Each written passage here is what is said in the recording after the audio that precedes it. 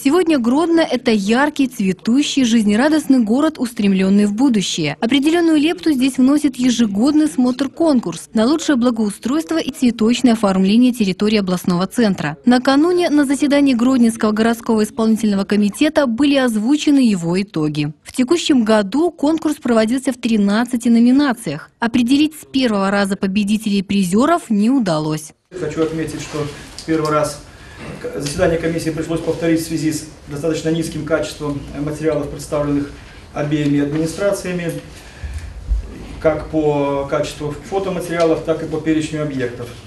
На сегодняшний день имеется протокол комиссии, э, значит, э, где в результатах обсуждения, голосования составлен, э, значит, определены, точнее выработаны предложения для утверждения решением горосполкома в каждой номинации конкретно.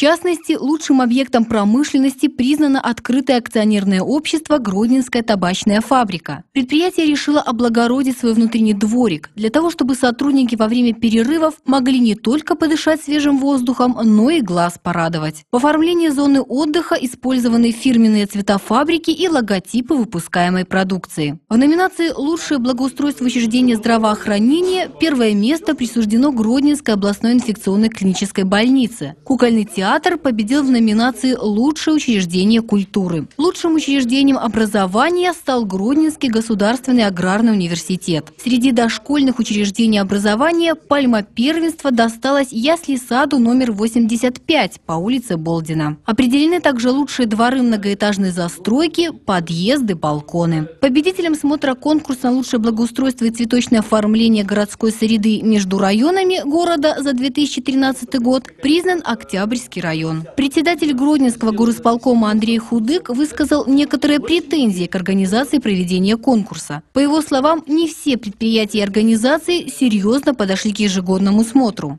Мне бы хотелось, конечно, чтобы они не были просто формализмом, вот эти э, конкурсы, и наши итоги, подводя их, и еще какие-то копейки там напрягались, мы тратили на это. А чтобы на самом деле это было каким-то, значит, ну, действенным нашим управленческим решением или стимулом. Некоторые замечания возникли у мэра и к работе комиссии, которая занималась подведением итогов городского смотра конкурса.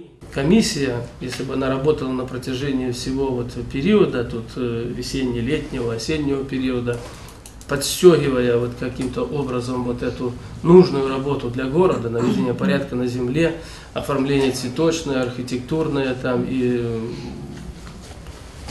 оформление в целом фасадов и так далее, то, наверное, было бы э, больше у нас э, каких-то сегодня уже объектов, которыми мы могли бы там порадоваться. И вообще, наверное, было бы намного сложнее тут э, определить, кто из них на самом деле лучше. А так пока я хочу сказать, что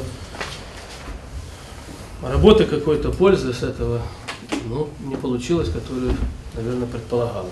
Всего в повестку дня очередного заседания Гродненского городского исполнительного комитета было включено пять пунктов. Речь также шла об арендных отношениях, списании имущества и других актуальных вопросах жизнедеятельности областного центра. По всем из них были приняты конкретные решения. Наталья Иванченко, Андрей Шмыгин, Юрий Дубовик. Новости Гродно Плюс.